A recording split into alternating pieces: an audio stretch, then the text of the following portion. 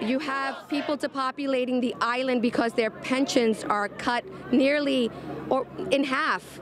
I know civil service people that if they are to retire tomorrow, they'll only receive 42% of their pension. And governmental workers in Puerto Rico are not eligible for Social Security. So where does that leave them? There's more than 300 schools that have been closed in Puerto Rico. This is nothing short of Wall Street abuse and tactical steps towards extermination.